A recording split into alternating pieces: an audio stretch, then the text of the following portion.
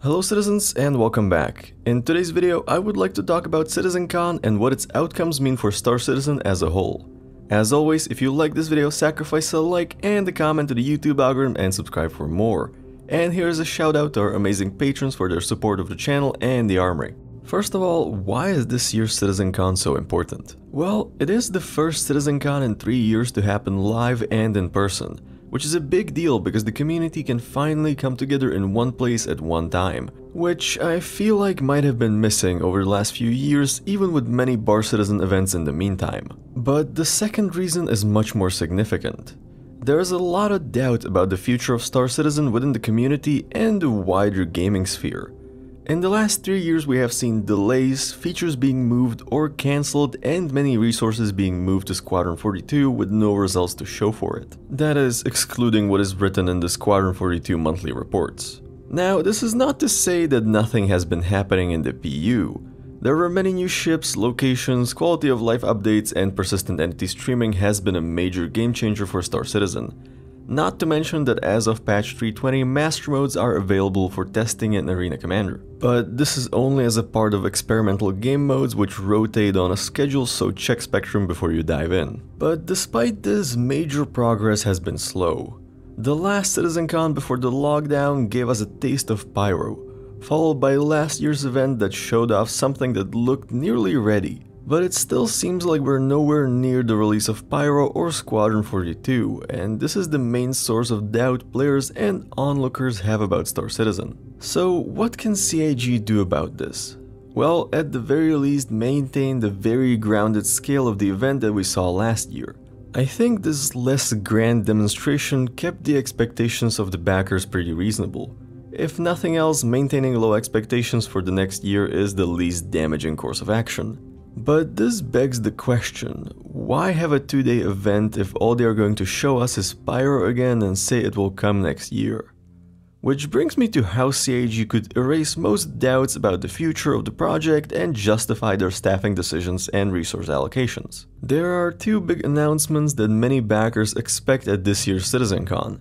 One, a definitive release date for Pyro and server meshing, and two, a definitive release date for the first chapter of Squadron 42. Either of these two announcements would likely be the key to an extremely successful event, and it actually looks like that's where CIG are heading. Now, the better question is, how realistic are these expectations? Well, I think that most longtime backers are very skeptical about either, but we can look at the facts. We know that persistent entity streaming was a major step towards the implementation of server meshing, and we also know that there's a lot of work happening on assets for Pyro. So we know that the base tech is in place and we know that the content is probably almost ready. So the main deciding factor on whether we will see Pyro soon is whether CIG make any progress with the actual server meshing. So I think we can expect an update on this and some further showcases. But I don't think we will get any timeline besides soon. As for Squadron 42, it's hard to say. It has been in the works for years and over the years we have seen major resource reallocation towards the project at the expense of the persistent universe. We have also seen some quite interesting showcases last year at CitizenCon, and according to the monthly report for Squadron 42, there has been major progress on all fronts. But I don't think this necessarily amounts to a product that's ready to be released.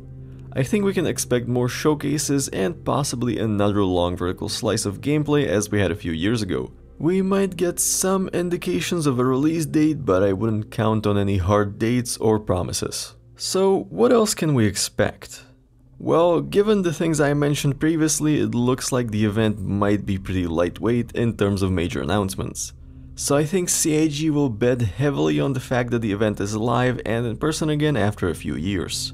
There will definitely be major ship sales and I think we can also expect new concepts and new straight-to-flyable ships to be released. Overall, I think we can expect a great event, but largely absent of anything groundbreaking, which is not a bad thing. Personally, I enjoyed the more grounded version of CitizenCon. And finally, the most important question. Are you going to see me at CitizenCon? Unfortunately, not this year. However, my organization, Atlas Defense Industries, will have a booth there, and as far as I know, we will be bringing some cool stuff and many of our talented staff and content creators will be there as well. So definitely stop by if you're going there and if you want to follow the preparations, consider joining. And with that being said, that's all for tonight. What do you think? Is this year's CitizenCon going to be big? Will there be major announcements? Let me know in the comments. Thank you for watching, fly safe, and I will see you in the verse.